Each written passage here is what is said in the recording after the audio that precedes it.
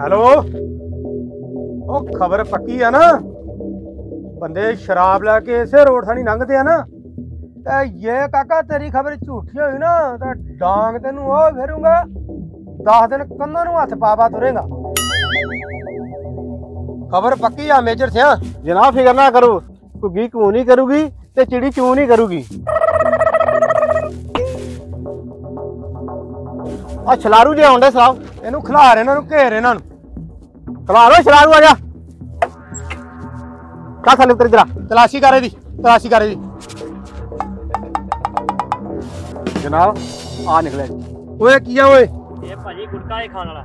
ਕੀ ਹੈਗਾ ਇਹਦੇ ਨਾਲ ਚੰਗਾ ਖੂਨ ਖੜਾ ਤੇਰੇ ਨਾਲ ਤੇ ਮੁੰਡਾ ਚੰਗਾ ਡਾ ਕੁਰਕਰੇ ਖਾਣ ਡਿਆ। ਚੱਲ। ਉਹ ਬੰਦਾ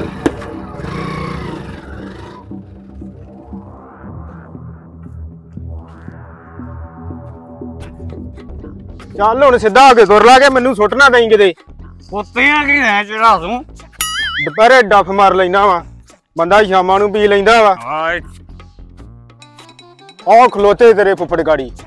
ਦੇਈਂ ਜਵਾਬ ਹੁਣ ਉਹਨਾਂ ਨੂੰ। ਕਿਆ ਵਾ? ਕਾਰ ਮੰਗ ਪਾ ਕੇ ਤੂੰ।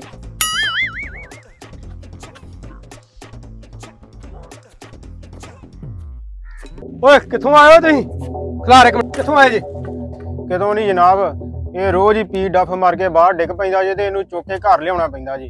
ਤੇ ਅੱਜ ਵੀ ਇਹਨੇ ਪੀਤੀ ਸੀ ਤੇ ਮੈਂ ਕਿਹਾ ਚੱਲ ਇਹਨੂੰ ਘਰ ਤੇ ਪਹੁੰਚਾ ਦਈਏ। ਉਹ ਮੇਜਰ ਇਹਦੀ ਤਲਾਸ਼ੀ ਕਰ। ਜਨਾਬ ਇਹਦੇ ਕੋਲ ਕੁਝ ਨਹੀਂ ਹੈਗਾ। ਇਹਦੀ ਵੀ ਤਲਾਸ਼ੀ ਕਰ। ਜਨਾਬ ਇਹਦਾ ਤਾਂ ਪਹਿਲਾਂ ਹੀ ਮੂਤ ਨਿਕਲਿਆ। ਉਹ ਚੱਲ ਜਾਣ ਤੇ ਦਫਾ ਹੋ ਜਾਓ।